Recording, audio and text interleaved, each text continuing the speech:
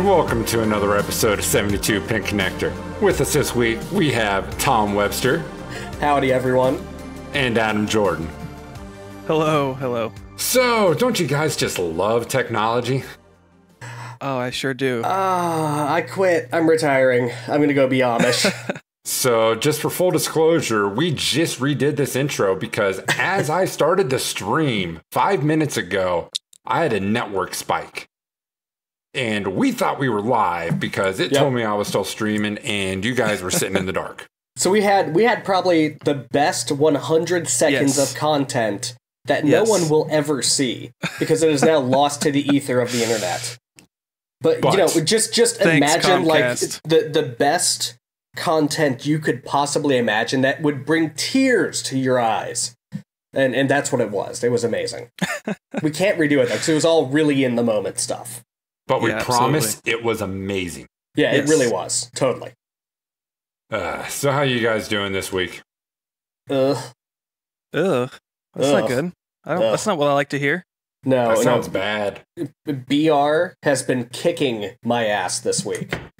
So you know, BR. you know BR. You know how there's VR, virtual reality, and then there's AR, augmented reality. BR is boring reality, and I've just had like a slew of stupid shit, like work Oh, shit, outside of work shit, just shit everywhere, in not fun shit, just boring drawl shit. So I have played very, very few games this week.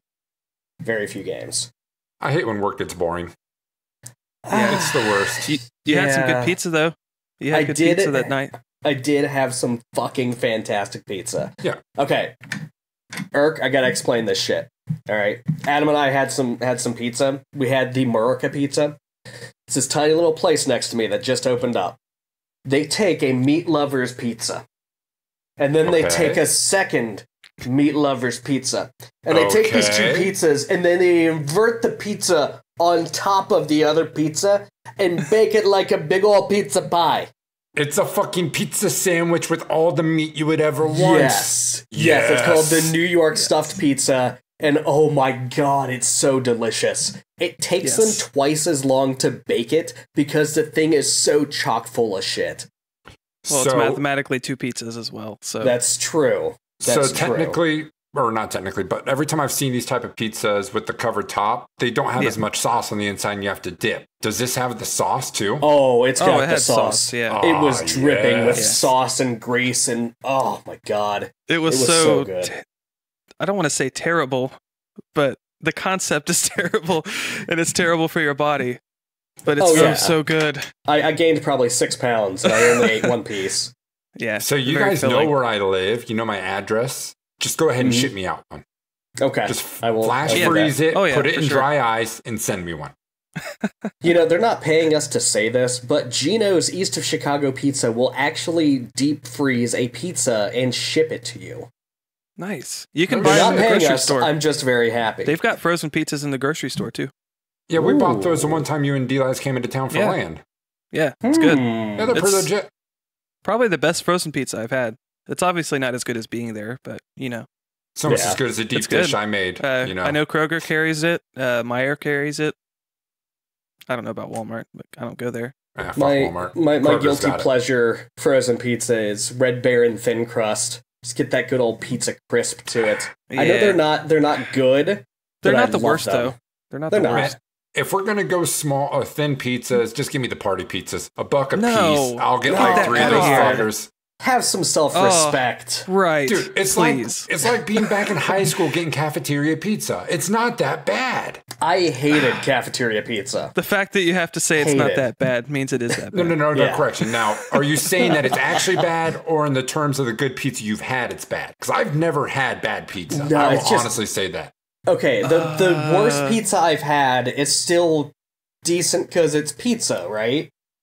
Y- y- I don't think I, I agree with you. I've never had bad pizza, but on the range of pizzas, cafeteria cardboard pizza reaches the bottom.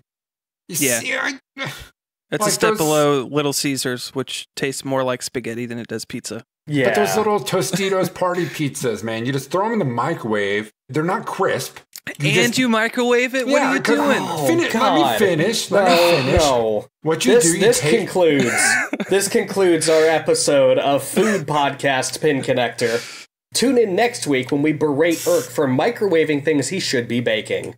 No, no, no. So you take it out. It's still a little like foldy. It's not crisp. And then you f- put a shit ton of hot sauce, a lot more cheese, and like some spare pepperoni. You have it. Fold it up and just eat it like a fucking taco. Pizza it is taco. amazing.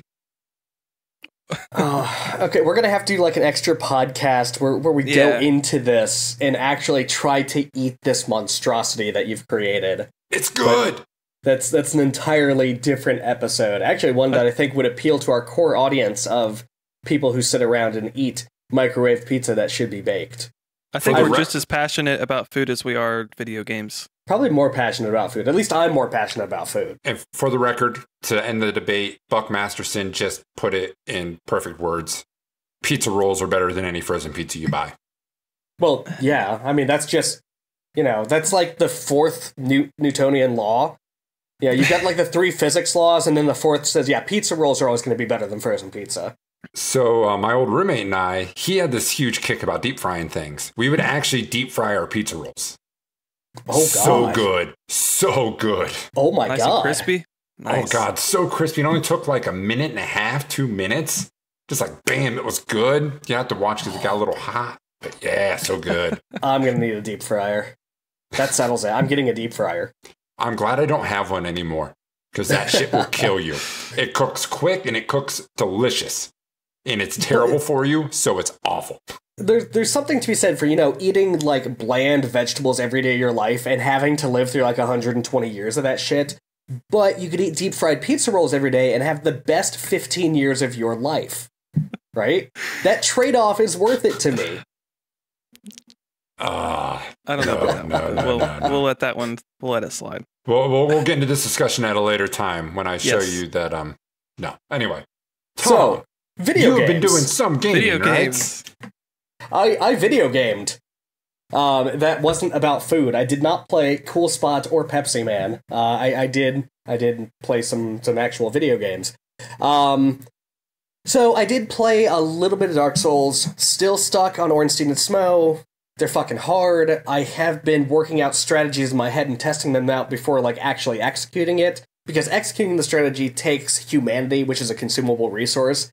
I don't want to have to farm that, so I'm trying to get all my ducks in a row and figure out my game plan before I just go full force on it. Um, but uh, other than that, I have been playing uh, Zelda: A Link to the Past in bed right before I fall asleep. Usually, knock out you know a dungeon or or at least getting to a dungeon before bed. It's a great bedtime game. I'm familiar Yeah. with it. I love it. To me, it's relaxing. Even the hard parts are pretty relaxing. And Yeah. after I beat that dungeon, I'm like, yeah, I'm satisfied. I just made progress. My, I feel like my life is now going somewhere because I got another pendant, and then I can go to bed happy and realize, I wake up and realize, oh my god, this is my life. I play Yeah. Zelda before bed now.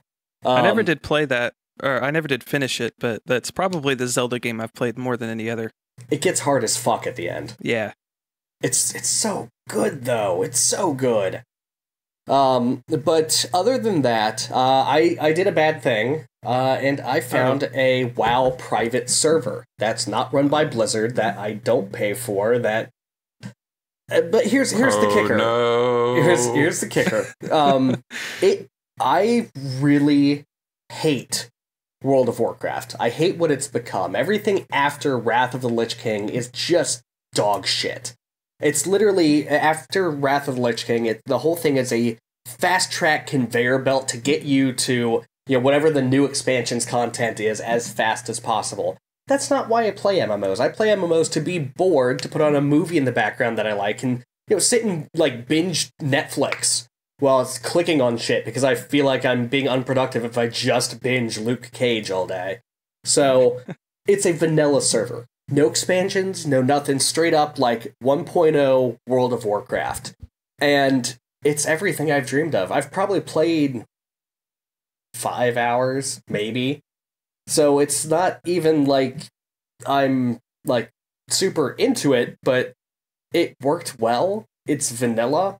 Uh, I know it's totally piracy. It's totally against the terms of service, but Blizzard doesn't really give me an option to play, you know, the first 20 levels of vanilla WoW. Yeah, there's a free trial mode, but it's got all the expansions and all the bullshit. I just I don't want to do that. So I I will say I hate the model of WoW where you buy the game, you pay a subscription, and as soon as you stop paying the subscription, you no longer can play the game you bought. I Oh, hate that model. on on one hand, uh, it it's weird because no other game works that way. On the other hand, it's an MMO, and those worlds take an ungodly amount of resources, like human resources, not just server time. Like people have to go in and keep these things running and curate them and moderate them, and they're they're big, expensive worlds, and uh, even. Even the private servers have got donation pages where they're like, "Hey, we only need four thousand dollars this month like holy shit you run a dinky little private server and you need 4k all right That's them pocketing like 3.5. But Uh, either way, not necessarily i mean this this shit gets expensive but they're um, not making content, they're just hosting. But like Yeah. RuneScape, RuneScape has it right. If you're going to do subscription, do subscription. The game is free. If you're going to pay for a game, pay for a game, no fucking subscriptions. Doing both is fucking evil. That's why I, I really do like the guild wars mmo model where you know i paid 60 bucks for the like collector's edition thing when it was on sale and i just have it. Now if i want all the new content in the expansion i can buy that and now you know the base game's free but i don't have to pay a subscription. Uh, the and really the only reason I went back to WoW instead of firing up Guild Wars because I've already got Guild Wars legally uh, is because Blizzard games are really good at the nostalgia trap. They are excellent at the nostalgia trap, and I love vanilla World of Warcraft. I mean, that was that was years of my childhood spent playing WoW and Burning Crusade and Wrath of the Lich King, and yeah. Then after that, I was like, "Wow, they've ruined this," and and I left. And for the Well- record, I've already received two messages of people you've already pissed off by calling the current WoW dog shit. Yeah, No I, I know. bullshit. No bullshit. Yeah, Fifty percent of our listening audience right now has contacted me being pissed off at you. that's that's okay, and I, I know I know it's a controversial statement. Uh, I you know, WoW prints money. It wouldn't if people didn't like the game for some reason. Uh, but I really don't like it, and and you know, I'm not just being contrarian. That's there's a huge following of people that say vanilla WoW is one of, if not the best version of that MMO. Um, and I, there are plenty of great, valid technical reasons why Blizzard doesn't stand up a vanilla WoW server. It's hard to do. Backporting security fixes and architecture changes it's just you know hard if not impossible for what maybe the six people including myself to to pay them 10 bucks to jump in yeah no that's not worth it there's no business case there so i get it but yeah that's that's what i did and I, I will do what I always do with WoW, and I will get super into it for a week or two, and then completely drop it for two or three years. Um, but then uh, earlier this week, before real life came to a crashing halt, uh, I played some Sonic Three uh, on stream, nonetheless, and Ah. it was it was fun. I like Sonic Three. The only thing is. Between the emulator and the wireless controller, there was just enough input lag that I looked like Oh, I looked like some idiot. Well, I can't even say idiot child because myself as an idiot child was really good at Sonic 3. I, Yeah. I looked like a dumb version of the idiot child that is myself playing Sonic 3. Because I just kept making stupid, stupid ass mistakes. It was bad. yeah. So I've been locked in a debate for about the last week. So I made a statement that I understand may have been overstepping, but it's kind of how I feel. That I say Sonic is better than Mario. And I'm talking one, two, three Knuckles versus one, two, three World. I'm not talking the expansion. Once you get past that, Mario just wipes the fucking ground with Sonic because the new Sonics are garbage. Everyone knows that. Well, yeah. But my coworker or former coworker was trying to tell me that the Sonic games weren't good. And that got me tilted. Because I put a lot of time in those games. So I don't know how you guys stand on it, but I honestly preferred Sonic over Mario. I went to different platformers for different reasons. I'm going to give the the bog standard answer. When I wanted precision platform, when I wanted a legit platforming game, I went to Mario. When I wanted a fun romp that was just fast and running through loops and listening to some badass Michael Jackson synth music on a Genesis, I went to Sonic. Right? Sonic is a is just a rip roaring good time. And to be real, until you get to the very last stages, there's not a whole bunch of challenge in it, especially in the later games. But with Mario, there's always a decent difficulty curve to be had. So I, I went to them for different reasons. But Mhm. if we're if we're gonna throw down like this, if we're gonna fight this one out, Mario 3 is probably no, not even probably. Mario 3 is the best platformer of all time, bar none. End of discussion. No. No, no, no. If you're going single one off, single one off, fucking Vector Man for the Sega was better than Super Mario 3. Oh, I don't But that's know. also because Vector Man got no fucking No, love. Ve- Vector Man that was, was, a great overrated. game. It was a great What? game. It was a great game, but it was very overrated, especially for the time. Go to The only- hell. For the time, it was beautiful. Yes, it was beautiful, but that's the only reason people liked it. The game was good. It wasn't amazing. And the only reason people liked it is because it was a very, very pretty game, especially on the Genesis. But that's the majority of its its staying power is it was pretty. We're going to fight. When I get to like- Ohio, we're going to fight. It's it's like how people fondly remember Comix Zone on the Genesis, but they remember it because of the amazing art style, right? The game wasn't even that good. Right? You can go back and play today and it's it's just average at best. It's a shitty brawler. But it's still pretty. Okay, and given what I just saw in chat, I'm letting you um specify this. You mean best platformer of that era, right? Right? Maybe. I mean, maybe because even even Mario Three beats out Mario sixty four for me. Because Mario sixty four was like the epitome of. uh, It's still the epitome of three D platforming. Uh, although Galaxy came really close because it was fucking amazing. But Mario Three to me is still, if you want something that is the core essence of a properly built platforming game, that's what you go to. It may be the pinnacle of what it did at the time, but there's already two people in chat calling out Super fucking Meat Boy is way better than gonna- Super Mario 3. I I love Meat Boy, but let's be real. It is very much a one-trick pony. Uh, it's it's very much a Twitch-based platforming game. Mario Three is not. Mario Three takes precision, but it's not at all Twitch-based gaming. Uh, and you have to look at all the other stuff surrounding Mario Three, right? You've got the the stupid little mini games, which okay, whatever. But the levels all have varying paths through them. Uh, the vast majority of them. They've got different tracks. They've got hidden secrets. They've got. I, I mean, once you break down Mario Three and you fully understand the depth of the game, there's a lot to to get through there. Meat Boy, while it's got some stuff, it's definitely got hidden areas and secrets and stuff to plow through. It's not exactly on the same level. I, I think I agree with Tom with that. But I will say, I think Super Meat Boy is better than all of the Sonic games. And that's trying, and this is putting nostalgia aside because I have huge nostalgia for Genesis era uh, Sonic games. But I do think Super Meat Boy was a better game. I think I would give that to you. I do. Yeah, on a purely technical level, Meat Boy is better constructed than Sonic ever was. Yeah. I just have the I loved Sonic. It was so But I much mean- faster. Yeah. Oh, but I mean, let's let's let's be real here. If we're going on a purely musical level, Sonic 2 takes it. Yes. Oh. Nothing else all nothing else will top it. Right? Chemical Sonic 2 Plant is like Zone, Okay, I Oh don't my want to start God. singing that Casino again on. Night Zone. I don't Oh, need I to think sing we Sonic talked- two we casts in a talked about row. these in the last podcast. I Yes, think. we did. We, we do we we do have people we do have people in, in chat naming some awesome games. Rayman Legends. Have you guys ever played that? No, No. I haven't. Oh, I I've heard it on those GOG. games are great, but I have not really played much of them. Oh, Rayman Legends is beautiful. It controls well. And I don't play platformers on PC. It- Frankly, I hardly play platformers at all today anymore, unless I'm playing something Mhm. retro or Super Meat Boy.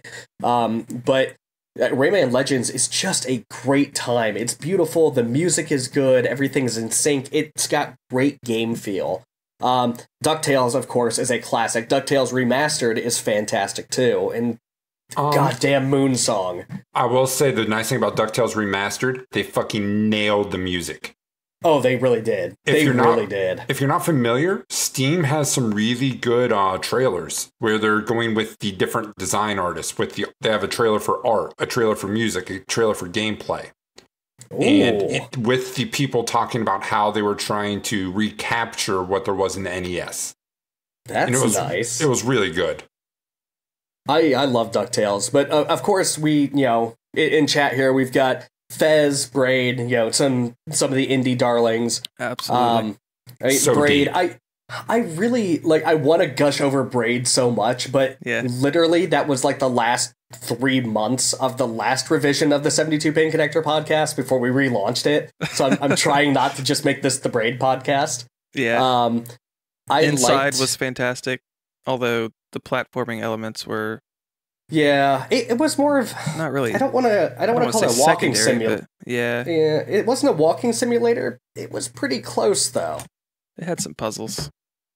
So, uh, how did you guys feel about Fez? Now, now that we're on the topic and we can totally just blow this whole thing totally off course, how did you feel about Fez? I liked Fez a lot, but So- it was too much game for me.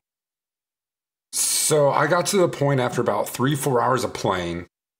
Um, I realized I missed something back a ways on one of the worlds, and I would have had to traverse literally, li- linear. Linearly, Thank you. back to where I missed something, and I realized this game is so fucking huge. I don't have the patience for that. I never even understood the actual depth of the game. yeah, So I never had that oh shit moment with it that I know it has because I've heard about it. I know it has that oh my god, this is ultra deep. Yeah. I got to the first uh, ending, if you want to call it that, and then you get something and start the game again, and it completely changes it. Completely Yeah. changes it. I I liked Fez. I, I didn't beat it. Uh, I liked Fez. I know all the stuff. I know it set the internet on fire trying to put together that, you know, all the code and the language and stuff. And it's really cool. I just don't see Fez having enough staying power. I think it was. Fez is fireworks, right? It goes up, it's amazing for like five minutes, and then it's done, and that's all it has to offer. Not that it wasn't impressive, because it absolutely was, but after you're done, there's just no reason to go back. My problem Honestly, with I think that's fine. Yeah, oh no, no, I'm not saying every game has to have like multiple paths through and infinite replay value and a level editor, but I, I think Fez won't be remembered as fondly by history simply because it doesn't have the staying power. I think it's a period piece. also I felt the game was tedious at points. To me, it it finally reached a point where it was tedious past reward, so I just stopped. And with platformers, I feel you have to walk that line because by nature, a platformer will be tedious. But if you make it too much that way, the players just want to say, fuck it, I'm done. Yeah. Yeah. And I, I wish that the the rotating element was used a bit more than it was. It, it really was mostly a one trick pony. It was, hey, I'm going to rotate to find out where I can jump next. And that's really the only thing it did. Uh, I, I can see that being used in so many other ways, in so many cool, awesome ways, but it just never happened. Um, So someone's Yeah. asking about what we think like essentially the best game changer was for a platformer. Oh, blast processing. Changer. Blast processing, clearly. Yeah, because you know, memory shuffling. I just watched a video today talking about that whole fucking thing. Oh Yes. my god. Uh, for those of you who don't know, uh, Sega, when they were trying to pit the Genesis against the uh, the NES and Super Nintendo, they were showing off Sonic, and and the Genesis wasn't really that much more powerful than the the Super NES, right? They were pretty on par with each other for the time. Um, but Sega, in their marketing hype, decided to call out blast processing and made that the focus of several commercials, magazine ads, and all this other stuff, trying to say that it was so much faster and better than the Super Nintendo. Um, both systems, that's really the only console war I can call out and say, yeah, these are like neck and neck. They both offer clearly different experiences. If you want RPGs and deep games, you go to the Super Nintendo. If you want like to tear people's spines out in Mortal Kombat and Sonic, you go to the Genesis. I've never torn a spine out in Sonic. What level was that? oh yeah, no. If you do the spin dash properly, Sonic like tears robot spines out. It's amazing. It's oh, so he like actually gets the spine out of the little cute rabbit that was stuffed inside of it. You've Yeah. got to use And you lock call yourself technology. a Sonic fan. You've got to use lock on technology. You put in Sonic Knuckles, then you put in Mortal Kombat 2 on top of it. yeah, playing as Johnny Cage in Casino Night Zone was the best thing I've ever done. You know, that would have been an awesome Easter egg if they would have had Oh, one of the yeah. Mortal Kombat's dock on top and you actually play a Sonic levels like Sub Zero or Scorpion. Oh my god, that would be amazing. I did love playing as Knuckles in Sonic 2. That was fun. I thought that technology was amazing. At the time as a kid, I was like, how the fuck are they doing this? I literally just put Sonic 2 on here and I'm playing as Knuckles. How the fuck is this magic working? Oh my god, that was that was the most janky shit ever for the most stupid reasons ever that I learned later. But I thought it was the coolest thing on eh, earth. It wasn't really a janky reason, it was just a physical restriction. For those who don't know, the reason Sonic and Knuckles is a separate game from 3 is because there wasn't enough room on a Genesis cartridge, and Sonic and Knuckles was designed to be part of 3. It just couldn't fit on one cartridge. Yeah, Sonic 3 was going to be like the magnum opus of Sonic games. It was going to have all of the worlds of Sonic 3 and all of the worlds of Sonic and Knuckles all in one cartridge. So you've got this giant, massive, almost limitless Sonic game. But then they're like, shit, we can't fit it all in here. So they had to split it up. And then we got Sonic and Knuckles, which without 3 was kind of. I didn't really like it. In in terms of sheer functionality, it was a step backwards because Sonic 3 could save your game, Sonic and Knuckles couldn't. But if you plugged Sonic and Knuckles into Sonic 3, then you could save your game. There was some I- weirdness. I like the level design of Knuckles and Son- Sonic and Knuckles probably the most.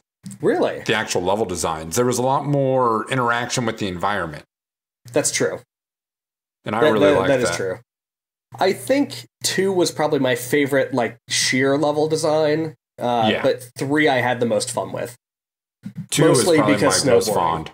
Snowboarding and Ice Cap Zone. Well, anyway, sidebar sealed. Yes. Have you been doing any gaming this week? I have been doing some gaming this week. What gaming Um, have you asi- been doing? Aside from Rocket League, which obviously I play too much of, I played a game called Viscera Cleanup Detail. Visceral Okay. cleanup detail? Visceral. No, I think it's Viscera. Is it Viscera? Is it? Is there an L? But either Whatever way, it is. what the fuck is that? There is too many people It's that I know that play that game. Really? You know a lot of people that play that? I think it's the, same people, it's the same people that you know that play it. And Alright. I have had this on my me to- wish list for a year or more. Okay. Okay, so so bring it on. What what is All right. this? All right. Imagine a an epic sci-fi battle. You're, you're plunging through the, the enemies. There's blood everywhere, but you take no part in that at all. And you are a part of the cleanup crew that has to go in afterwards and clean everything up. that It's- almost it's basically chores the game. it sounds um, like a TF2 like surgeon simulator kind of joke game. Yeah, definitely. It's definitely kind of a novelty game. Um, there's no like time limit. There's no real objectives. You you've got like a broom and a mop. Uh, you wipe up the blood into the mop bucket, and there's a little gun that gets rid of bullet holes, and you got to throw all the body parts in the little disposable bins. But can you craft an ultra cleanup tool and like duct tape No. the broom to the other end No. of the mop so you have one tool that does no, both? No, no, no, no, no, You no, spin 'em no, no around. crafting system. Um, it is multiplayer. The, the the whole appeal of the game is the fact that it's not a good game, but you can all jump in there with your friends, and it's just kind of a novelty. You know, we're all making jokes like, "Hey, get back to work. This is not. This is serious work. This isn't something to play around in." And the the physics are real wonky, so it's like it's real easy to like accidentally click uh, kick the bucket over, and then the, all the blood you cleaned up goes spilling all over the floor again. And if you're walking through the the gore on the floor, you'll make little bloody footprints everywhere where people have already cleaned and stuff. So, Nice. but there's no time limit. There's no like objectives. You just whenever you're done with the level, you just clock out, and then it gives you a rating or whatever how well you did. I didn't realize I wanted this game until I played The Beginner's Guide, which is a super pretentious art game walking simulator thing. Uh-huh. Um, and in The Beginner's Guide, one of these little level game things is you walking around and pressing E on dirty things and making them clean again, like Yeah. like making the bed or putting away dishes or books or whatever. And Yeah. the game has you do that for like three minutes or so, but it was honestly one of the most relaxing things I have ever done in my entire life. It was so fucking zen.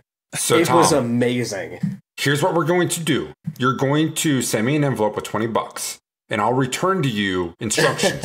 they will read go to your kitchen, do the dishes, go to your bedroom, make the bed, grab your v- vacuum, sweep the floor. But there's there's one one huge difference though, and that's like I have to get off my ass and away from my computer to do that. With Viscera Cleanup Detail, like I can go like full South Park World of Warcraft guy and just like hang back here and and do my cleanup detail, and it would be great. It honestly, it looks like just so fucking zen. Just put on some nice ambient music, chill out, and clean up like alien remains everywhere. That's what I want to do for an hour. I would So, never play this game by myself. You are the embodiment of what old fuckers say is wrong with our society. oh, and I at know. this point, I can't disagree. I totally, I totally own that. I totally admit it. Oh, but um, so is this an early access or is this a full fledged game? No, I mean it's it's out. I'm pretty sure. Yeah, Wow. We we should totally all buy this It's and just- then stream the fuck out of it. it's thirteen dollars. It is not a good game. Um, but it can be fun if you're just messing around with your friends. You get in a big di- Discord server with a bunch of people and you know whatever. But I would not recommend it in any sense. I'm But if you gonna buy if you this. just got money you just want to throw away on Steam or you want to give somebody a joke game or something, it would be a pretty good one. So this sounds like something that our buddy D-Laz would end up buying, and then we'd wake up the next morning during a Steam sale and have. Uh, yeah, think- he uh, he gave Yeah, me Train like that. Simulator and some kind of Sparkle Pony game or something. Yeah, And I No. think he gave Tate Farm Simulator. nice, nice. Tate gave me McPixel and it was terrible. I actually played some of it and I was like, I don't. This is this is so bad. That's a trend we have to go back to. Yeah. Yes, the worst is. game gift at Ward. Um, I'm, I'm gonna I'm gonna give him uh, Dota 2. I think I've still got those beta invites. Oh God. uh, but, uh, but other than that, um, I bought Firewatch finally. Oh really? This is something I was really Oh. excited to play. I've been wanting to play it for a long time. Um, I finally bought it. It was on sale. I think it's only ten bucks right now. Oh wow. So I thought, okay, I'll finally buy it. I played through just just a little bit of the the beginning sequences, and um, I'm definitely interested to keep going. It looks really cool. You're gonna have to let us know how that is because I'm I'm a little hesitant because some of the reviews Mm-hmm. I've been reading like say it's it's amazing and then it all falls apart and I I don't want to Yeah. pay for a walking simulator that I'm disappointed in the ending with because it's kind of the whole point is to have Oh, that great yeah. story. But I, I am a fan of the walking simulator. I will Yeah, and the, and that. the the dialogue and the voice acting is really really solid. See, what I'm worried about with walking simulator type games with reviews is there'll be a lot of people who know the genre. They understand what the genre is. They buy the Mhm. game, they review it as like this game's amazing. Then you get Yeah. people who don't know what the fuck they're getting into and just say this game Right. looks cool. They buy it and they start off walking around like, oh, this is okay. I'm interacting a little bit. And after an Mhm. hour, it's like, where the fuck's the game? Yeah, it's very much a story experience. You have to be ready for that. Did, Yeah, did I've you heard- guys did you guys ever play Gone Home? No. No, Okay. It was it was interesting. It, there was a whole lot of internet hate going on because you know gaming press absolutely loved it, and then like gamers bought it. You know, Call of Duty people bought it, and then they're like, "What what the hell is this?" I'm I'm in a house and I walk around and I I listen to audio tapes, but what the Yeah. fuck? But it was Yeah, enjoyable. that I didn't play this game, but it sounds a lot like uh, there's a game called Virginia. It's a walking simulator that I know got a lot of really good reviews. But whenever the creator was interviewed with um, one of the podcasts I listened to, one of the guys like, yeah, that game just sounds terrible. Yeah. It's like this does not sound enjoyable at all. so Yeah, I mean, they're- it, They're not games. They're interactive stories. That said, Yeah. I do want to pick up Firewatch because I've heard Yeah. very good things about Firewatch. Yeah, and it's on sale for ten bucks right now, so it's a good time to pick it up. I think it's the cheapest it's ever been. I might Honest- just have to do that. I say we pick it up, play through it, and do a um, Firewatch cast maybe sometime. Be a good Yeah. time. Could be cool. Because I know we have some people in the audience have played it. Uh, Vidabi, I'm pretty sure. Um, uh, Vosbeck. Man, I've never said that name before. has played it before. Vosbeck. Vospec? We'll go I with don't know. Vosbeck. Vospex, and I don't know. Vospec? Vospec. Which one do you guys want to call him? V O S Peck. Yes. Okay. VOS Beck. Oh, uh, but Eric, what have you been playing? I'm I'm excited to hear yours. yes, please. So same old, same old. Um, I was playing some Uh, Rocket no, League. sorry, you ran in too fast. You have been released from this mortal coil. Try, try it again. Try it again. What have you been playing? I'll, I'll get to that. So No, no, first, sorry, sorry. Try it again. You died again. I've I've really gotten used to that. Um, but The Mortal Coil is overrated. So definitely got the standard Rocket League Factorio. Uh, been big picturing co-op uh, Overcooked. Nice. Still loving That's a it. good time. That's a great time. I Uh, love we're to the final boss, so hopefully we beat Ooh. that tomorrow or tonight, something like that. What is But- the final boss? Is that a spoiler? Can I ask what the final boss is? Do people get No, pissed no, if they find out? It's Not pretty obvious. Overcooked, I don't If think. anyone who's ever played it at all, well, at least started the game, it's the guy from the start of the game. Remember, you get Oh, sent big- back in time, oh yeah. so you prepare for him. Okay. Was it Big Meatball Monster or something? Yeah, the big meatball, uh, the pecking, Okay. Okay. the pecking, pecking. Yeah. Peckening. Um, but and then the game I put the most time in this week. Sony has released their first one or their let's say the left jab of their one-two punch this month. Nioh has finally launched. Yes. This is a very anticipated title by Tim Nin- uh, Tim uh, my god I can't talk. Team Ninja. Um, it is very um, Dark Soul esque, heavy Japanese influence. It's what I would really put it as is like Dark Souls meets Gaiden a little bit with the pacing, meets Mhm. Diablo with the loot. So for those unfamiliar, what other games have Team Ninja done? If you're not familiar with the developers. Ninja they- Gaiden, Ninja Gaiden and DOA are their big Dead or Alive two. Beach Volleyball. Okay, fuck the Okay. beach volleyball. But uh, their big two titles are Ninja Gaiden, and um, that was a series that started off really strong and ended fairly weak. It got worse and worse as it went. But also DOAs, which are really technical fighting games. And they actually had a one off with Hyrule Warriors, which is a Zelda based Dynasty Warriors game. Hmm. But They also made Metroid Other M, which completely broke the Metroid series, and Nintendo will never make another Metroid game because of the the horror that was unleashed by Team Ninja. let me guess, it was incredibly difficult. No, it Oh. wasn't. It was it was boring. It was shitty. There was nothing to the game. So uh, you, you Yeah. don't want me to rant about Other M. but from what yeah. we've under- understood, they've definitely redeemed themselves with Nioh. Yes. So this game is so far so good. I'm sitting at about four hours in right now. Um, it is very brutal. So in this game, if you make one mistake, you're dead. Even on Nice. regular regular units, I'd walk into. Sometimes I'd be hasty. Tom saw it. I think you saw it a few times on the stream Mhm. where I would run in way too fast and the guy starts his combo on me, hits on his very first hit. I can't recover from that and I'm dead. I go from full health to dead in just one series with this guy. Nice. Um, they have what um, they call them shrines, they're checkpoints. It's like bonfires and souls. Um, you're fighting to get to those points, is what happens. They are stationed through the level to help you progress. Once you get to that point, if you die, you go back to there.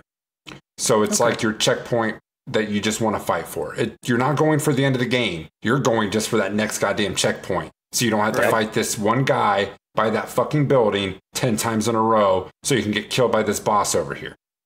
yeah. Um, other Now, are this- they are they staged out pretty well? Like after after you complete an area, is there a shrine like right outside? No, are, are there the are there lots? Okay, okay. I was wondering if they did the same thing Dark Souls did because in Dark Souls, when you beat an area, there might not be a bonfire there. There might be, but there might not be, and then you Yeah. have to weigh the balance of do I backtrack and do all that shit all over again, but I save, or do I press forward and take the chance of dying and losing all this progress? So uh, yeah, there's not always going to be a shrine, and uh, I'll point out a mechanic right here that'll help explain what Tom was getting into. Um, you get your currency when you kill people. If you die, you drop a grave. You get one chance to get back to your grave. If you get back to your grave without dying, you recover your currency. If you die again, you lose the currency from the first grave. Okay. So you could, if you end up dying to the same spot over and over again, what ends up happening is you get this huge amount of currency at this one spot. So you pick it up and then die, pick it up then die, but you're establishing currency the entire way to there by killing all these enemies. Oh, I see. So I had a moment last night where I really worked up a lot of currency. And then I just fucked up against a very small, weak guy at the very beginning. And it, that was game over for me. I was done. So, do you think that mechanic can be exploited to It's a grinding duplicate your currency? you it's not duplicating. So what happens is let's say there's two guys and you Mhm. got 20 currency for them and then you died. So now there's 20 currency in your grave. You fight your way back to them, kill those two again, you got 20 and then you pick up your 20 there's 40. But the next time you only get 20 and you pick up your 40 so you got 60. So here's why it's Okay, okay. that's not exploitable and here's kind of why. When you reset to the shrine, the guys respawn you get your gold. Let's say you pick up your gold, you run back to your shrine at the shrine is where you exchange this currency for levels and in Mhm. skills. So you buy your skills. You don't buy items, you buy skills. So you power your person up, but as soon as you touch that shrine, what happens is all the bad guys in the map respawn. Okay. So that's what Tom was saying about after you get so far, you have so much currency. Do you want to go back and use that currency and have to do all of that over again? Or do you push forward to the next shrine not knowing where that is? Hmm. It and is there, some- there could be that one guy you fuck up on and you die anyway and lose that stuff. And then you've got to go all the way through again with the chance of dying again and losing the stuff that you could recover. It's an interesting dynamic. It it really is, and it can actually be stressful sometimes because it Oh, could yeah. take you 20 minutes to get past a point. You do it, and then you're like, well, fuck, I have a shit ton of currency. Do I want to save this, or do I want to push forward because I don't want to have to do that again? What's nice though is after after you die a couple times and you know, you've lost everything. You you're at a zero. There's no recovery.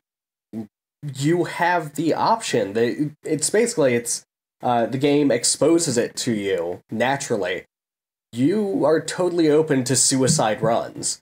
So if you get to a new area and you've died a whole bunch and you've got nothing left to lose, quite literally, you can run in like a suicidal banshee to scout out the area, find out where the people are, and then plan your attack from there. Um, you know, knowing full well you'll die. In Dark Souls, that's a pretty common tactic to scout out new areas. You you run in like a crazed man, and you lose nothing, but you know you're wasting time. So there is this interesting mechanic I like about it. If you die, let's say that I use two healing elixirs and I threw a couple fire bombs. I die, I don't get those back. They're still spent. So you, it's not like you're reloading a state. You're going back to the shrine and getting all your health back, but everything else stays the same with you. So that's good if you picked up loot, you still had the loot. That's bad if you used all your healing potions on a boss and still died, all your healing's gone. Mm. So, so when I'm talking about the consumables for Ornstein and Smough and Dark Souls, you know, I'm having to plan out my attack and plan out my strategy pretty carefully because if I use all my humanity, that's that's it. I got to go far more. But you know, that's a whole backtracking and and killing rats essentially to try to get this back on rare drops. Um, it's it, from what I've seen, Nioh looks like I don't want to call it a carbon copy because it's not a carbon copy, but it's No, no, no, you haven't gotten deep enough in this. Uh, so I was just getting ready to explain. That right there makes it sound like souls. And then you have the systems. The systems are what differentiate this. A, well, I think also um, The combat is very fast paced. You don't want to fight multiples at once. Two is about as much as you really want to do, but this combat is incredibly fast. It Yeah, the feels combat, from what I've seen, it looks more offensive, less yes, blocking and waiting. It's Yes. more Ninja Gaiden, less Dark Souls. Dark Souls is plotting, slow, methodical combat. Nioh is ninja combat. yeah. You there is blocking, there is parrying, but you tend to do that only to be able to get the offensive strike. You are very much balls to the wall on the offense. I'm sure you could play it more defensive, but it seems to Mhm. be very fast, very combo based. Get in their face and kill them quick. Which is Um, kind of par for the course for a Team Ninja game. Yes. Yeah. Um, but the, some of the mechanics that are really cool is the tech tree. The tech tree is very big. You have a tech tree per weapon. And then underneath that tech tree per weapon, you have different techs you can get per stances. So it Oh, allows you to splinter it out fairly deep. And uh, there's this combo list where, let's say, one of the techs you bought said after a uh, light, light, light combo, you hit heavy. Instead of doing a Mhm. regular heavy hit, you will now do a roundhouse kick that will stun them. And then let's say you also now have uh, unlocked a light, light, light, heavy combo that actually retreats for you while you get the last hit. Well, you have a conflict now. You have two different light, light, light heavies. hmm You can go into this list and say which one you want to take precedent over the other. So That's you get to kind of customize your combinations after you unlock multiples of them. Hmm. That's cool. And that's per weapon. Yes. So, So- are those are those permanently stamped me. down, or or can you flip them out? I have not discovered if I can respec. I have not seen anything Okay. that Yeah. seems to be respecable. That's something that would worry me because you might go through a bunch of the game with one weapon and get it upgraded nicely, but then if you get a different weapon that you like way better, it feels like you might have wasted all of that that upgrade ability. Now, keep in mind, not all of these are always. Um, some of these are cross. It's weird to say. Yeah. Like some of these abilities, I have two of them. Like um, light, light, light round kick. Um, that Mhm. works for my spear and my uh, double twin swords, but I only had to get it once, and it worked for both. So Okay. there are some similarities like that. It's not all the way lost. And these abilities, while useful, you can do it without them so far. Okay. Hmm. but it's really cool. So like um with my twin swords, I got the roundhouse. With the spear, I chose to not do the roundhouse and I have an option where I can do a heavy afterwards and I actually hurdle my opponent to get on the backside of him. And then on my little swirly thingy, I don't know what it's called, I have like a retreating hit. So you can build up all these different weapons to where you be able to fight them completely different. Nice. And Sounds like there's some depth then. And it's off the tech tree. And let's say you're playing defensive, all of a sudden you want to switch it. You literally just adjust that combo and you're switched. You can go ultra offense Hmm. just by switching the combo. This sounds like it's Gaiden Souls. It sounds It- like the the best version of Ninja Gaiden Black mixed with Dark Souls. Um, mixed with Diablo loot. So when you kill Hmm. people, you get random drops. And these drops are purely random where it'll be the same. So, like in most loot games, you have brands of items. Like for a bastard sword, you might have a um, steel bastard sword, and you might have a mithril bastard sword, or you might have a guard's bastard sword, or those that, that brand for a bastard sword. Right. So in this game, it's random what you get out of that. I think per level, maybe you're restricted to where you can only get guards this and steal that on this level. But inside of that drop, you get random attributes on the weapon as well. So, like, you might get one where your Kai falls slower in close quarters combat with this sword, but your damage might be a little less. So, you That's have all- interesting. you get all these different boosts on the weapon randomly. And also with the random mechanic that I know is not in Souls is something called um, familiarity. And you build familiarity to a precise weapon, not a type. Like you have a bastard sword you get max familiarity with. It doesn't go across all bastard swords, just that one. And that will grant you a little bit of damage bonus. And then some of these random traits will also say, with max familiarity, you will get a bonus of 10 or 11% more damage. So these systems are super deep. I'm still very, very much at the beginning of this game, so I can't imagine how deep these systems are going to get. But as of right now, it is it is balls to the wall, offense, speed, and me dying a fuck ton. So, Nice. but when when you died, it, it sort of looked like this. Like every time you died, because I've been playing Dark Souls for a little bit, and I'm not great at the game, but I know when you died Nioh, I could see exactly what you did wrong, and I knew it was entirely your fault. And from the way you were yelling at it, you knew it was entirely your fault too. But does does Nioh ever kill you cheaply? Dark Souls doesn't. Every everything, every little death and every trap is telegraphed to you. You have to look for it. But every time I get killed in Dark Souls, it's because I'm being stupid. So Does does Nioh share that?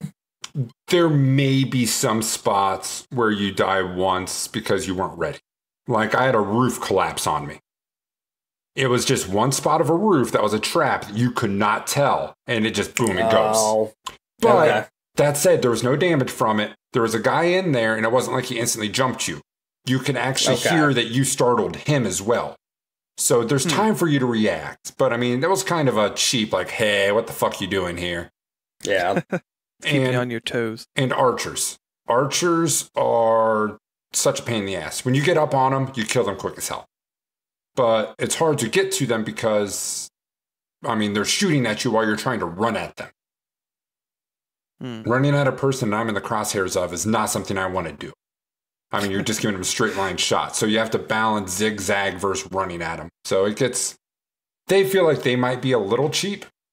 But other than that, yeah, it's, oh fuck, I shouldn't have ran straight into him. I should have kind of strafed to the side and then attack kind of thing.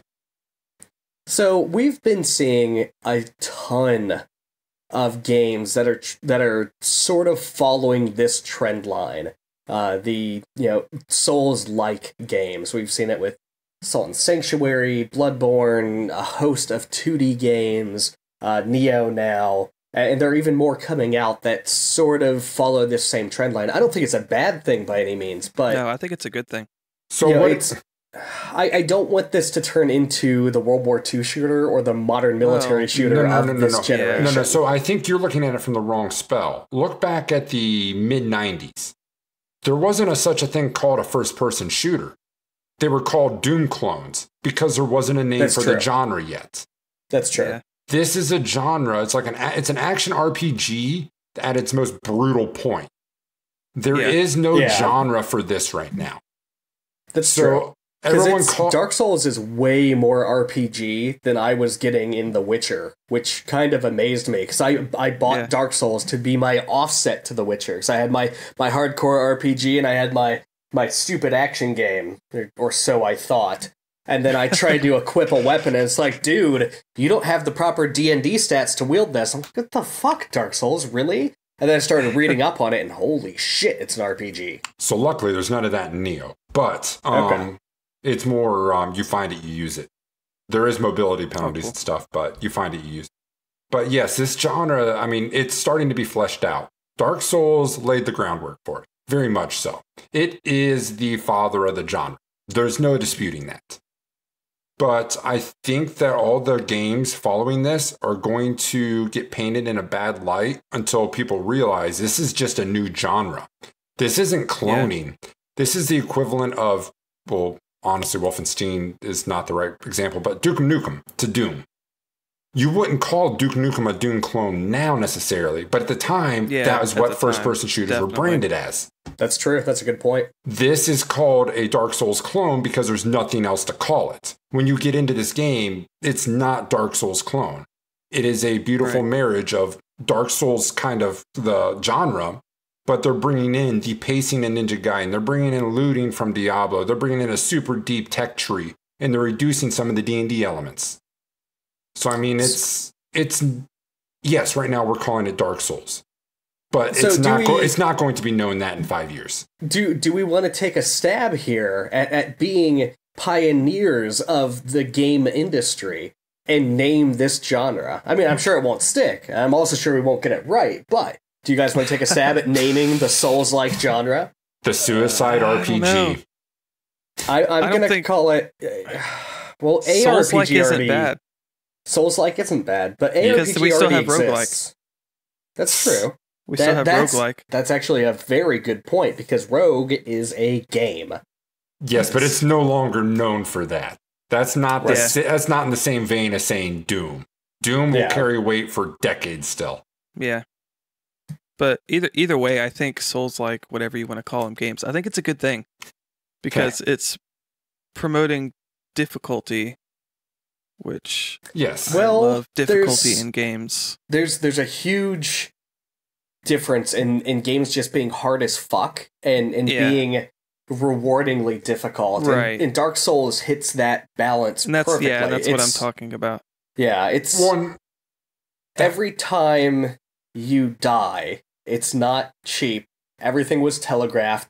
You died because you got greedy and you thought you could get that one more hit on the big fire spider, and you knew you couldn't, but you tried it anyway, and you got fucking punished for it, and now you're dead.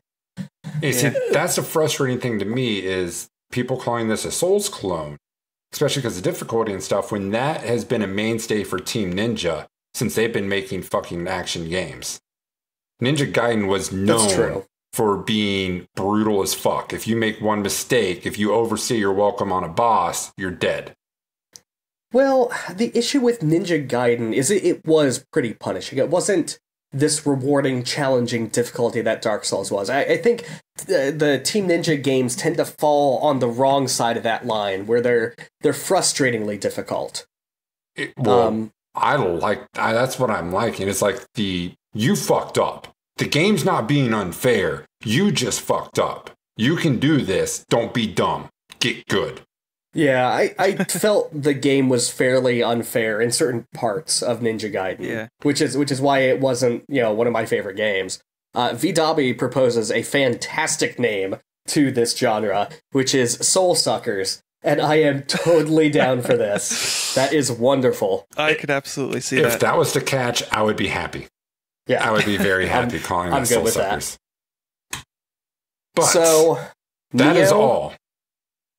We've got a fuck ton of news. Holy Yes. shit! Everything happened in like the past two days. So, uh, quick. What? Anyone else have anything else they want to throw out there on Nioh via the Um, Twitch chat? You guys, because I will. Full disclosure, I plan on trying to clip together some stuff, get a review up on Nioh. Hopefully by the end of this weekend, Monday, Tuesday at the latest. So it looks good. Um, if if I can offer a piece of advice, when you're charging in, charge in, get two hits max, and then just run the opposite direction. Just back out. Just do this: run in, hit, run away, run in, hit, run away. Yes, it takes a while, but it's the safest option. You're sitting there and trying to tank these hits. You're a samurai. You're not a guy in armor. What what are you doing, Urk? You, you just gotta you gotta play like a ninja, man. Come on. Actually, I'm in heavy armor. Oh, you're in heavy armor now. Okay. Okay. And- Before you were in like basically a bathrobe with a sword. So, also, one thing I want to get at there's two different types of enemies. You have your standard human enemies, and then you have these nether realm type enemies. Human enemies, you hit them, they don't attack because they got to recover from the hit. Nether realm enemies, when you attack, they don't care. They're still going to hit you. So it is seriously a hit, hit, bounce, hit, hit, bounce. I did see a couple of those. I love the the fantasy Japanese mythological style Yes. or whatever. An ogre samurai, cool. pretty much. Yeah. Yes, the the semi. The old school uh, demon yes, demons and stuff. Yeah. The um anyone who goes to play this, I think you'll be very pleased with the ogre samurai in this, the semi bosses that appear. So this is PS4 exclusive, right? Yes, it is. Okay. Okay. I was, Which I was is- wondering if I had to prep for a PC release, but I guess not. I guess it's it's sharing the Bloodborne spotlight on the PS4. And it feels weird to me because Ninja Gaiden doesn't it's not like Naughty Dog. It's not an owned company. This is a nice hmm. big game. As popular as the Souls games have been, I don't know why they locked. I don't know if it was because this was started this game was in progress like back in 2004. I don't know if at that point the development company that had it was locked in with Sony, but they've never had an exclusivity deal with exclusivity deal with Sony before. So I don't know Um, why this is. I'm wondering if there's going to be like a Game of the Year edition that gets re-released, kind of like You know, all the Tomb Grand Theft. Autos got re-released on the Xbox, and then of course, you know, Tomb Raider, Raider recently. So Hey, it's not Tomb, just me. Tomb, Tomb, Tomb Raider, Raider. Tomb Raider, you go to all the tombs and read all like the nice dialogues about the person's life. Scholastic presents Tomb Raider, the best in edutainment games. Guys, can, can we kickstart that? Can that be a thing? Yeah, go ahead. So Math Scholastic Blaster, Tomb Reader, Tomb Reader, and Math Blaster. Sounds like a stellar combo. Why don't we bring Math Blaster back? Fucking love Math Blaster. Frog Fractions is kind of like that at times. So check it out. It's free I should flash. play Frog Fractions. Yeah, Okay, so we do have a little bit of news. Um, a little bit. a little bit. A little bit, a lot of news. So um, I think the first thing we'll start off with is Netflix has a new series that they're going to be making. Yeah. And it's a series that we had such a debate on a couple weeks ago. Ah. What's wrong, Tom? Castlevania. Uh, I don't know how I feel about this. It's Castlevania. I love Seems like- Castlevania. Seems like but- such a weird thing to do a series on. Right? Like, when has Castlevania last been relevant? Uh, I mean, every single Castlevania game that comes out that's 2D, not 3D, because those Castlevania games don't exist, um, have been amazing. I mean, you know, the they took Metroid and then they updated it and they made Symphony of the Night and they essentially renamed a genre the Metroidvanias because that's that's level design now is a Metroidvania style level design. That's a genre. That's there's See, a reason these games the are issue. so awesome. Here's the issue you're looking at gameplay. Gameplay doesn't mean shit, man. We're talking TV. Yeah, I know. Yeah. So Symphony of the Night had a decent story, but that said, it's a video game story. The Castlevanias are always campy as shit. So good Uh, news. you're you're a guy named Belmont. You have a whip, and you're hitting Dracula with a whip inside of a castle full of like skeletons and weird mythological creatures. The good news is, from what I've heard, the company that's taking this on is an animation company. They're the ones who brought you Adventure Time, is what I've heard. Hmm. So it should be, sounds like it's good chance it's going to be animated, which I think would be best because I think a real Yeah. live ca- Castlevania Yeah. would look bad. Yeah, no, no And echoes hope- of Castlevania sixty four. And hopefully this gets rid of all this little vampires aren't bad things. It gets back to like the root of the evil. The vampires suck. Yeah. Kill all vampires. Oh my god. Yeah. fucking in in Castlevania does the perfect job with with Dracula. I mean, he's he's not this you know pansy little vampire who sparkles in the sunlight. I mean, he he sucks blood and kills people for fun, and he's fucking Dracula, man. Um, but yeah, Castlevania uh, in in the recent games they have had anime cutscenes. They've always had sort of an anime-ish art style to the games. Uh, But in recent games, they've actually had anime style cutscenes in them. So Hmm. I could see this working out potentially good. That said, it's a video game series made by anyone on anything. I, I don't care who's making it. There's a huge chance this is going to be dog shit. Right. We'll just have to wait and see. Yeah. so we, we will we will keep you apprised, and I will be binge watching as much as I can of the Castlevania series when it hits Netflix. So you can see the review here first. Probably not first, but you can see it here eventually on the 72 Pin Connector podcast. Woot. Uh, and in other news, we have some Rocket League stuff. Um, actually, kind of a lot of Rocket League stuff. Yeah, Rocket League's been in the Um, news. Yeah, they've got a couple of big updates coming up. Um, uh, one of the minor updates, but it's a cool one, is a Hot Wheels DLC cars. I'm excited. This is such a natural fit for this game. I cannot believe this didn't happen sooner. This is Right, yeah. awesome. so the update hits February 21st. Um, two of them. There's the the Twin Mill 3, which is one of the older Hot Wheels designs. It's been around forever. It's a classic. And then Bone Shaker, which kind of looks like an old hot rod. so they're gonna Skull be- on it. Yeah, $1.99 a piece. Um, comes with exclusive wheels, the one nice thing I did fully like customizable. that right there. So Yeah. um, I like the Batmobile. The Batmobile is a sweet car. You can't do Yeah. shit with it, and the boost sucks. Yeah.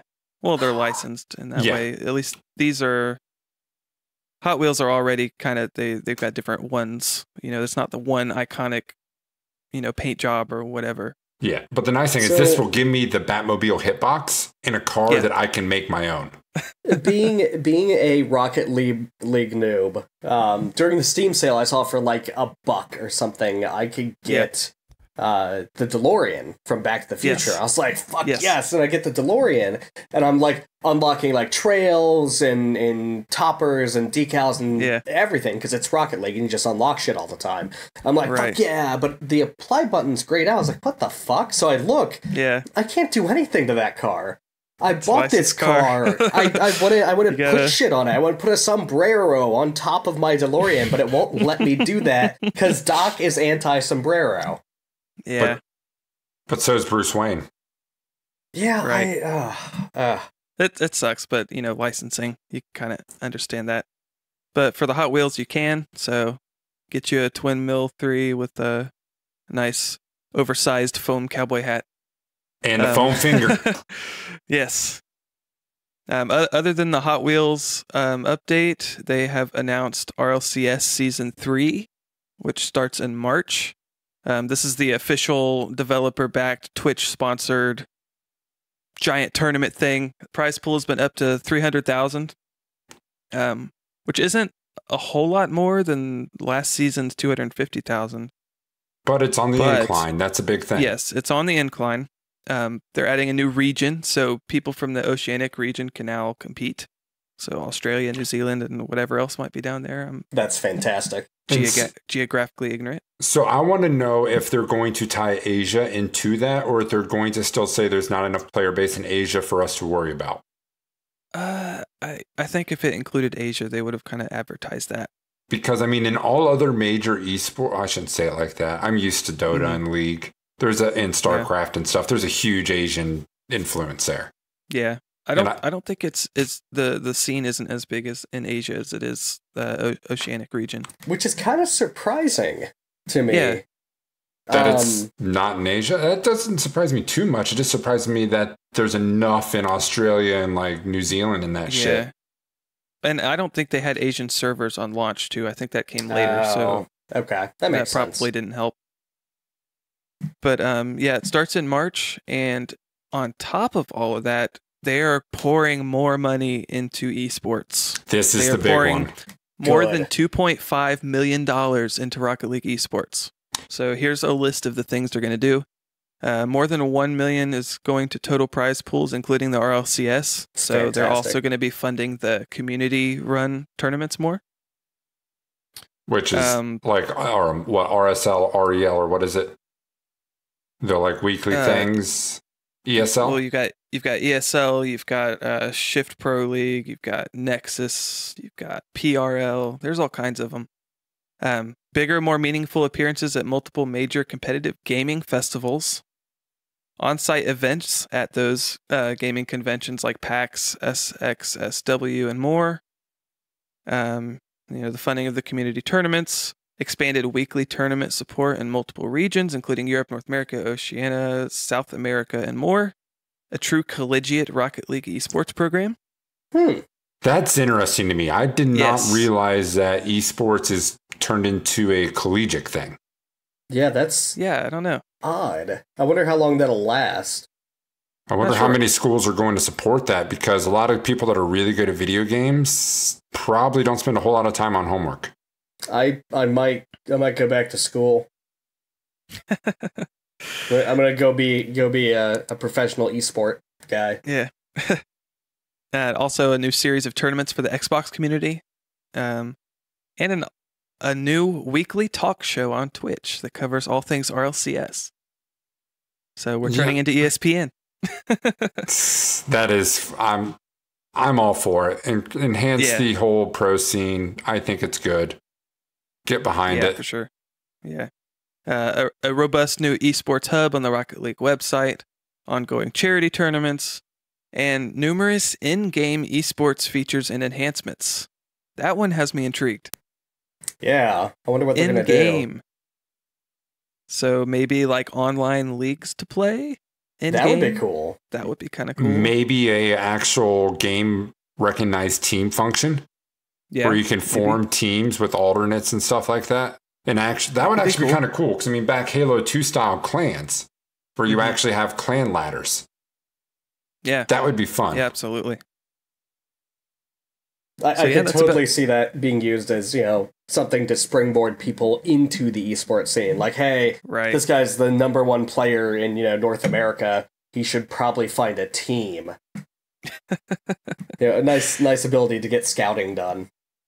Yeah, absolutely. Yeah, and also uh, VDobby brought in something else that's really big for esports. You might throw in uh, games like Dota and that allow for um, watching.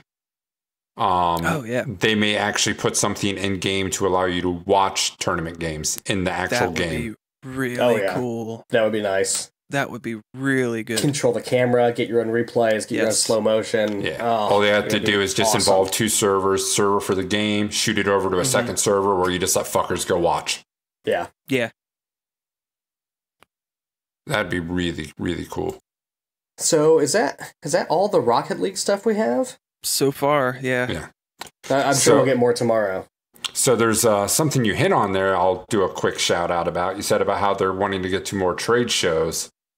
Everyone Yes. can get to more trade shows now, even though technically you probably could have anyway. E3 is officially opening their doors for public, even though really it's kind of been public the whole time. Yeah, the the barrier to entry for E3 has always been I won't say always. It got stupid low. Basically, if you had a blog that you sometimes posted game reviews to, you could apply and get access to go buy a ticket to get to E3. So, for for instance, 72 pin connector was allowed to buy E3 tickets at one point in time. We didn't because they were expensive and we were poor college students, but that's how low the barrier to entry is. They were about to let me in the door. But yeah, so it's open to the public. It is good. It should have been the entire time. Yeah. They're allowing what like 4,000 tickets to be sold. So it's not a huge amount. Um, everything I've heard from people in the industry is be ready to wait. That even when it was industry only, they would wait in line three hours to play a new game.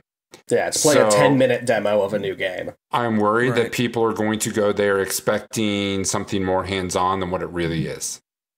Especially since Uh, E3's been losing its luster for a while now with events Yeah. like PAX and South by Southwest. And then you got like the EA experience, PSX, Microsoft has a, like all these public the, or the private Final Fantasy experience. I think mm-hmm. Square's got their own trade show now. which is good. I like the individual developers Yeah. having their own thing. Oh yeah. I, Definitely. I think E3 hopefully will eventually be parlayed into an indie display.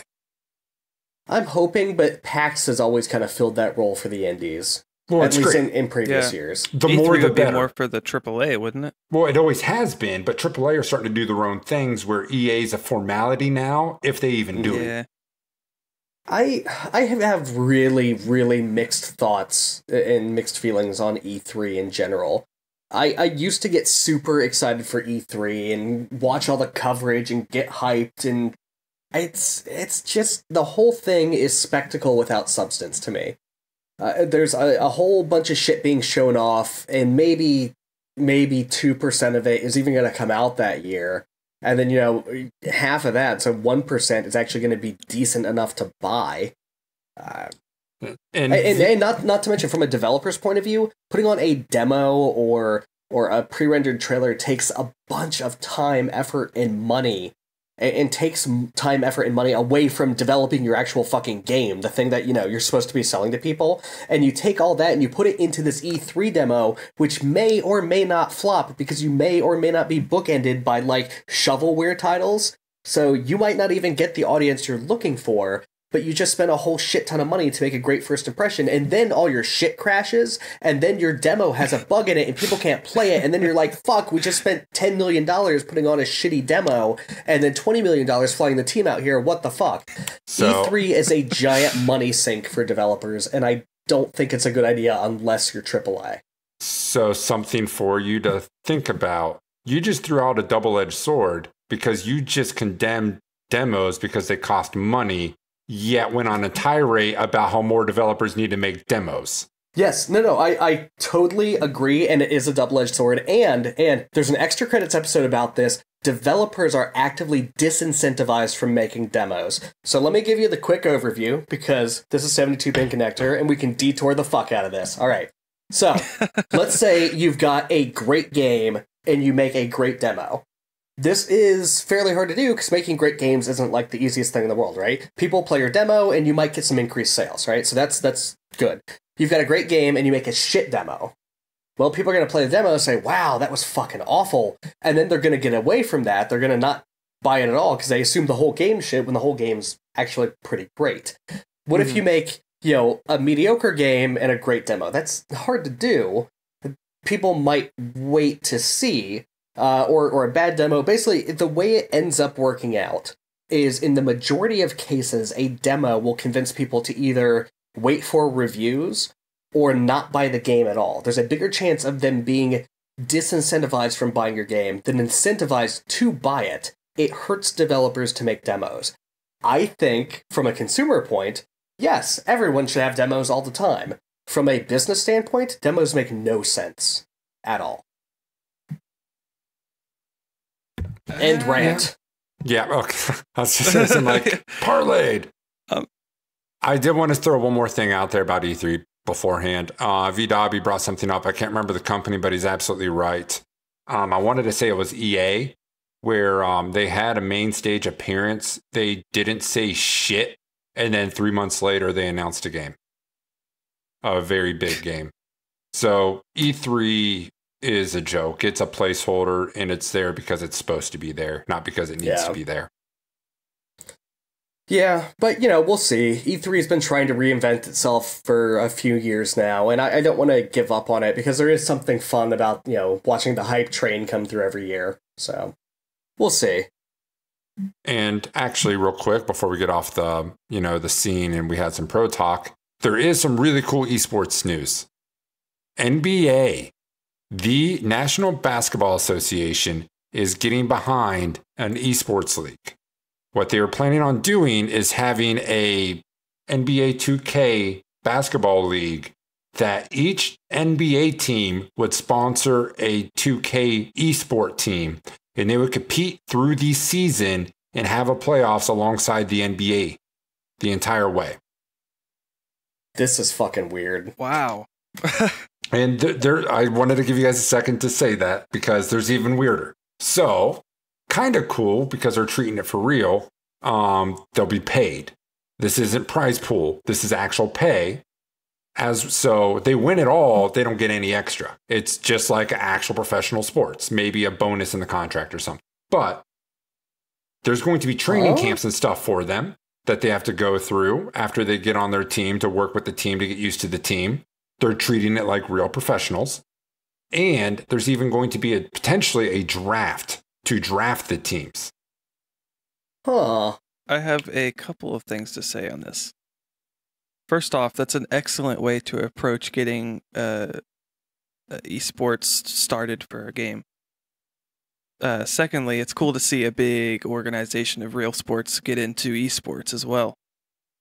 Yes. Especially if they're going to be pouring money into it and doing it right from the start. And my third point is why NBA 2K?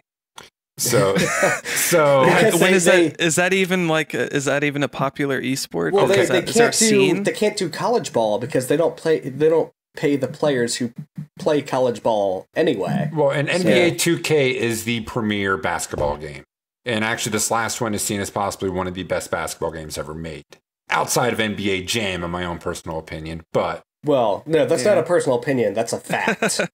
but yeah. um, it's Yes, it feels weird because this is not a game I see as a huge esport, but no. The NBA has always been forward thinking, and this honestly could just get some more attention to esports. I don't know yeah. how it's going to do. So, but really, is... if it costs each team about uh, $200,000 a year, that's next to nothing compared to their salary caps. How does this end up working? So if you're if you're an esports pro playing for an NBA team, an NBA esports team, uh, do they like make all players and teams in game all the stats genericized? Do they just like level the entire playing field? Because if I'm playing, you know, the esports equivalent of LeBron James and someone else is playing the esports equivalent of Tom Webster in a basketball game, you know, they're going to get their shit rocked purely based on stats alone. I think that's pretty unfair. But here's where it gets interesting because you know who your boss is, the owner of the team of the team you're playing in the game. If your team sucks there, it's because your management on the actual NBA side sucks. It's This a really cool concept where the GM in real life makes the EA or the esports players better by improving the real team. I'm I'm gonna and and these have typically been wrong on this show, but I'm going to make a 72 pin prediction, um, and say that this will last one year before the program is shuttered. Oh yeah, it it sounds really off, but there's some really cool shit that could happen because that parallel to real life is awesome that no other esport has. I'd like to see this become you know something more. I'd like to see this succeed, but I don't see how it could. Oh, and also I forgot to say this. Are you ready for the weirdest fact of all? From the Oh, rumor it gets mill, weirder. the rumor mill, mill right now. When you play NBA games, you play one person per team most of the time. Occasionally, you'll have a second person. They are talking about having five man rosters. So every player on the court is controlled by a real player. Hmm. Think how fucking weird that would be. Huh? It would make more sense from an esports perspective, though. How are they going to handle it in ever shifting meta? Are, are they Um, going to like lower cooldown timers or, or nerf LeBron? I don't I don't know because as Vidabi said, I believe it would be you play the team that owns you. So like let's say you're the Golden States team, you have the most stacked team in the game. If you're the fucking uh, Charlotte Hornets team, you're fucked. But I it's uh, not I your don't know how to feel about this. I really don't know how to feel about this. I This like seems, the, uh, there's some really like good things they're doing. There's some This, good this things is, this is marketing. This is all marketing, is what this is. No, it's not. They're gonna lose money on this. This isn't marketing. oh no, no, no! The fact the fact that we're talking about it means their ad revenue just paid off. No, you have to realize this about the NBA. From being someone that's not as close to sports, NBA is ultra progressive. They are an organization that is always trying new things.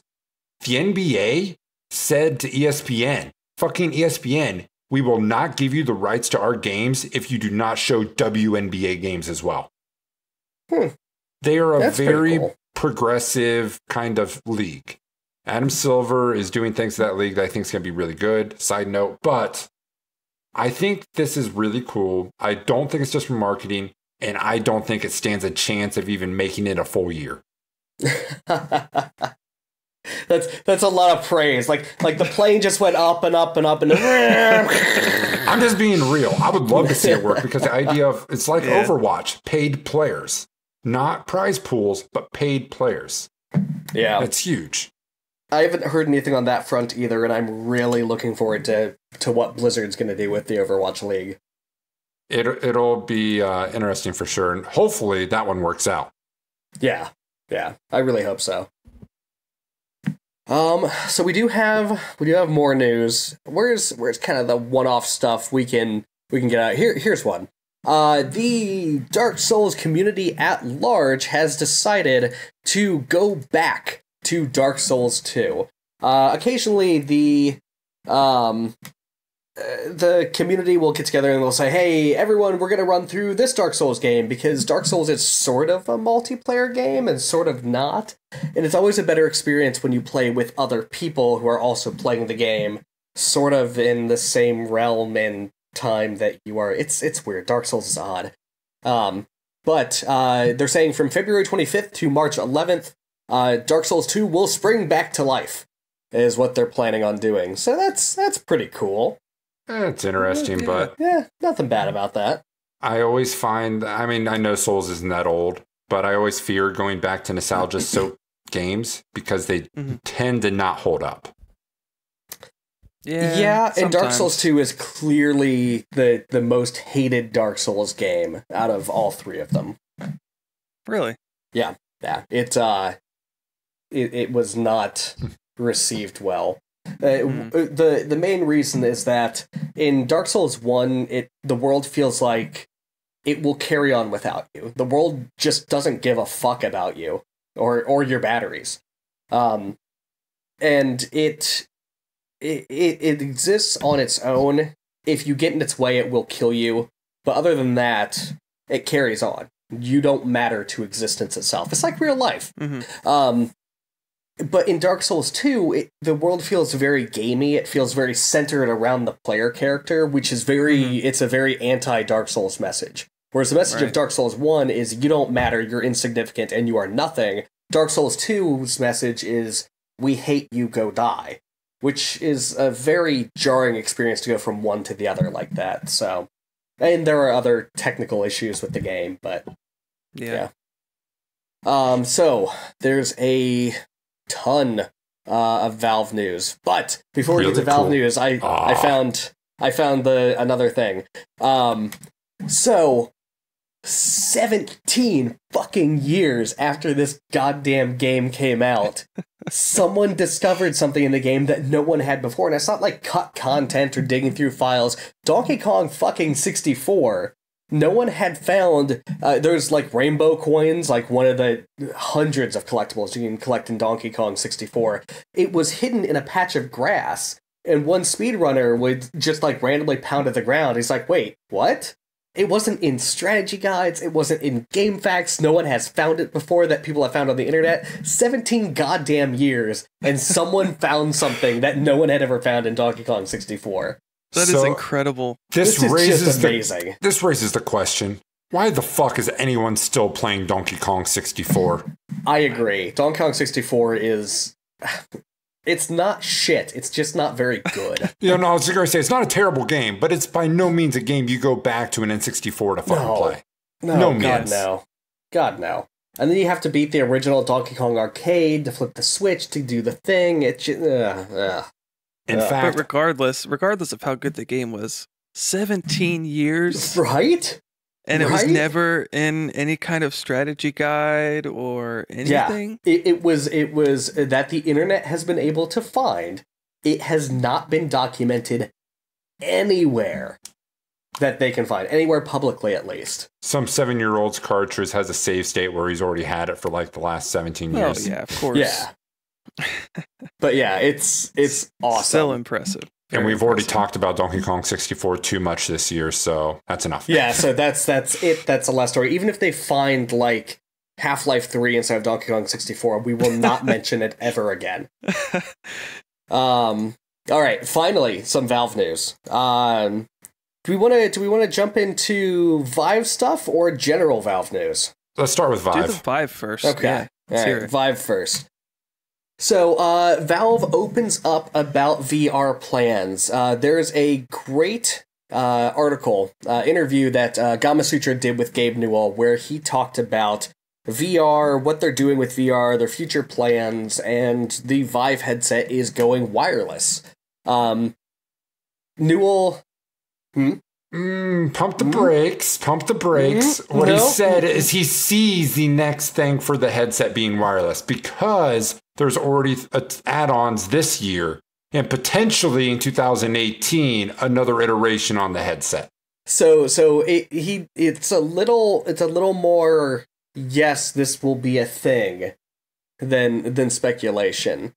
Um at, at least when Newell says stuff like that it's generally a confirmed thing. Half-Life Yeah. 3 confirmed.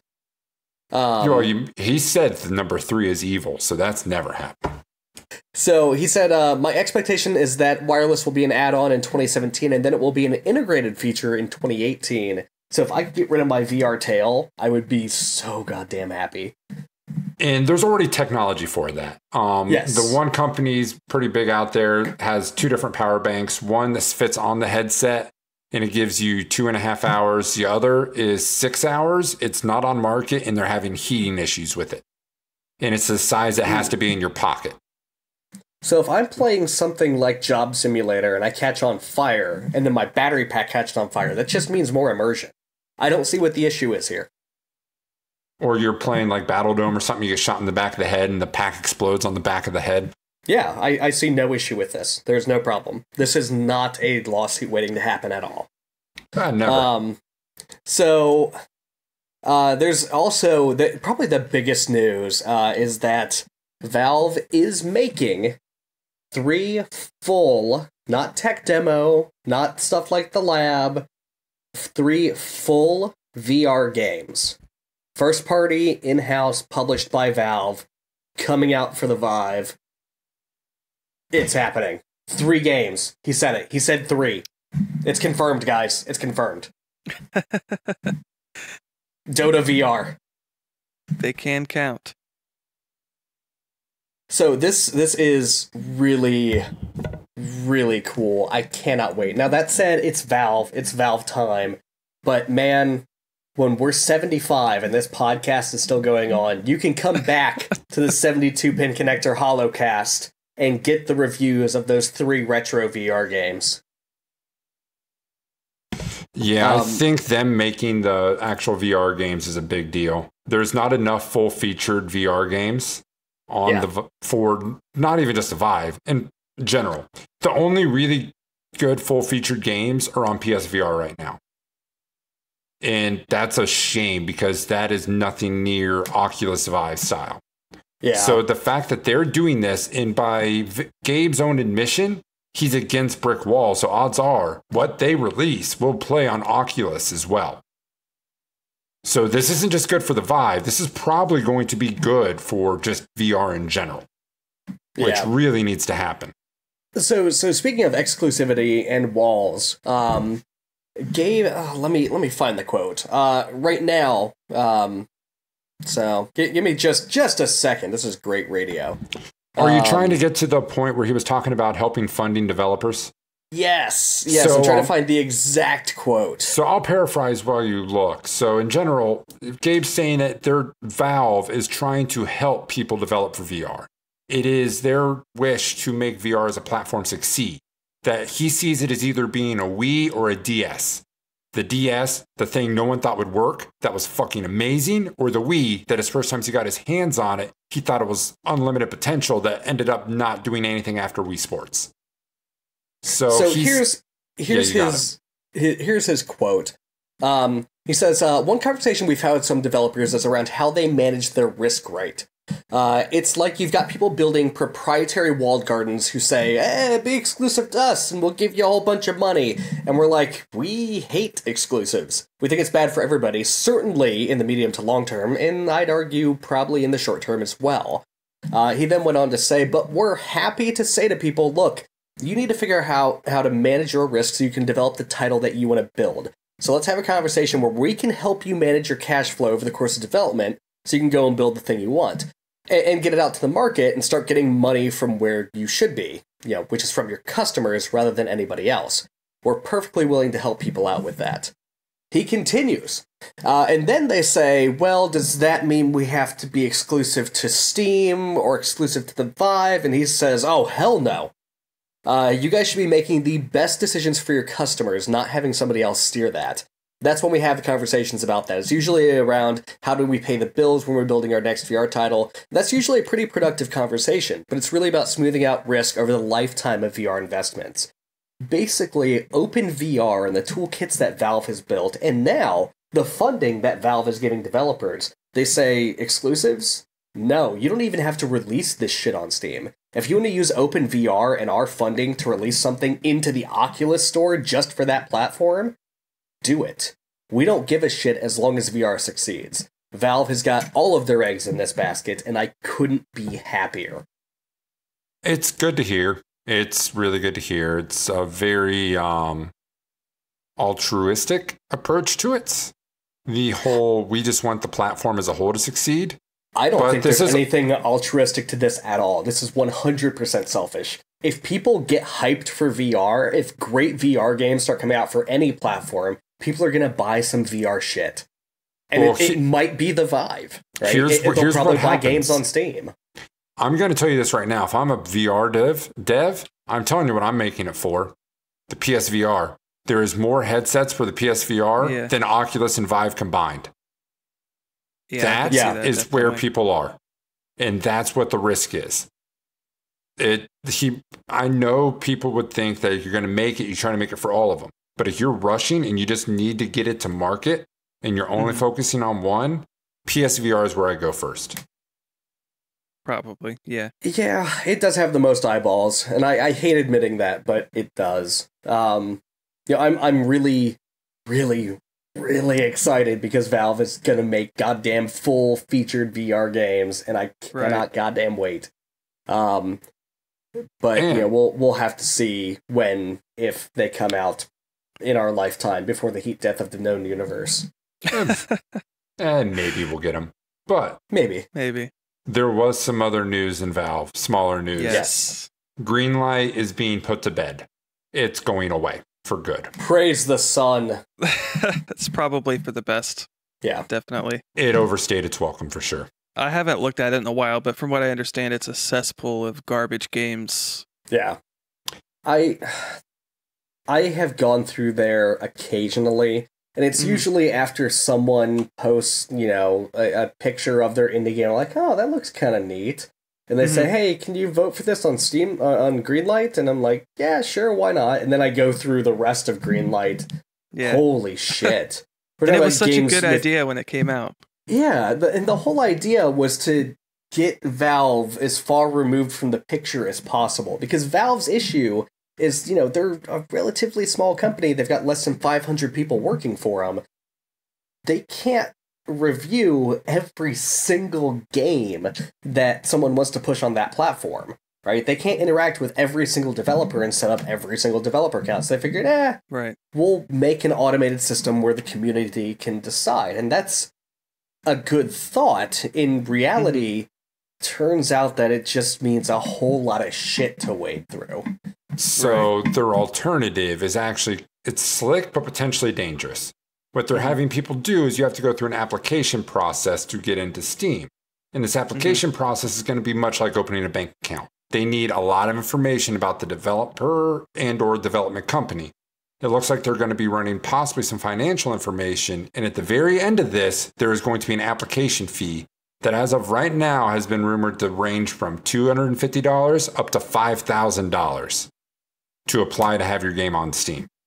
This better not be expensive. Yeah. So I don't want to speculate too much on that because it's such a rumor. Yeah. Well, this this was from th- still coming from them, but it wasn't Yeah. that them saying these are the numbers. But the reasoning is not they want money.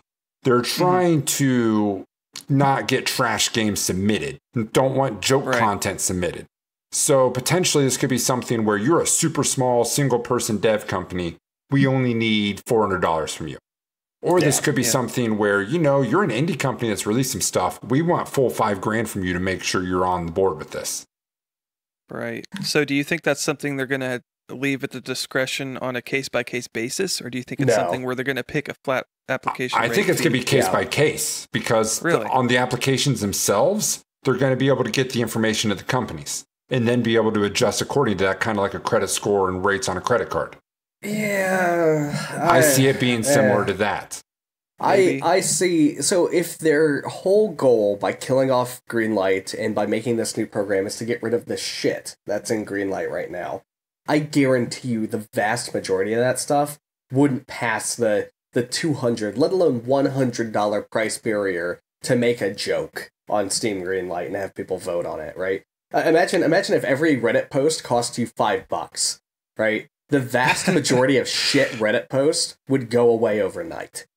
Yeah. Um, I I, don't- mean I that that said, it's it's a barrier to entry, right? So if I if I am in you know a country that's you know economically less powerful than the United States, right? If my dollar doesn't go as far as a U.S. dollar and I have to pay two hundred and fifty dollars, you know that could be six months of salary. That could be a year of salary, depending on where I live in the world. That Mhm. could be an issue. Um, Uh, that which I, I I could see you know the sliding scale working for stuff like that, working in that benefit. That said, it's pretty easy to work around that system. If you're putting in the time to work around that system, you probably are not coming to the table with bullshit. I would really hope not. I would really hope not. I, I think even even at a hundred bucks, you can get rid of ninety percent of your problems, and that would be okay. I think that would fix the issue. Well, In, that in any case, in any case, I mean, we're killing off Greenlight, which is you know Good. We, we can all agree Good. that that's a good Yeah. thing. Um, And we're gonna try to replace it with something better, which we can all agree. Yeah, that, that's a good thing too. It's a good thing. The the devil's always in the details, but you know Yeah. we'll have to see. And you can be guaranteed we'll report on it here first at the 72 Pin Connector podcast. Where news Yes. breaks. yes. It Do- breaks and then we break it further. Yeah, do we Yes. do we break things? okay, we're breaking things now.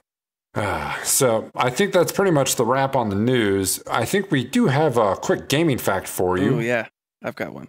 What we got? So it's less of a like an interesting fact and more of an anniversary. Oh, So today, today actually marks February 10th, uh, uh, as of this recording. Remarks a 20 year anniversary of a game, a very popular game, and I want you two to try to guess it real quick. Frog fractions. So 1997. Don't, uh, don't look it up. Don't use Google. Don't cheat. on the 12th, Mario Kart 64 released. Oh no, my sources say the 10th Mario Kart 64 released in the U.S. When? Oh, in the U.S. Yes. Maybe I had a Hmm. different date. but yes, I actually looked that up. nice. Mario Kart 64.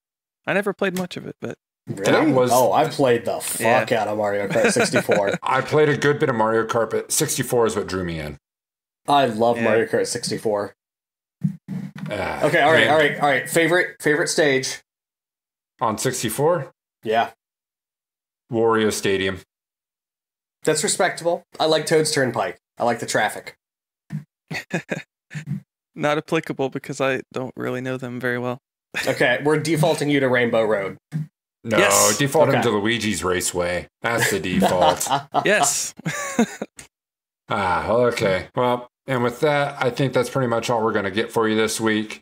We'd love to hear from you. Let us know what you think, what you'd like for us to talk about. If you think that we said something blatantly wrong or idiotic, just get at us. We have our fan mail at fanmail at 72pinconnector.com. You can tweet at us with the at 72PC podcast. You can find any of our content at a later time on our YouTube channel, 72 Pin Connector. You can go to our website and see what we've been up to, new content at 72pinconnector.com. And in case you're listening to this via audio or on our YouTube channel, you can catch us live 10 p.m. Eastern Time every Friday night at our Twitch page at twitch.tv slash 72 Pin Connector. And that is all we have for you this week. So until next week, game on. Bye.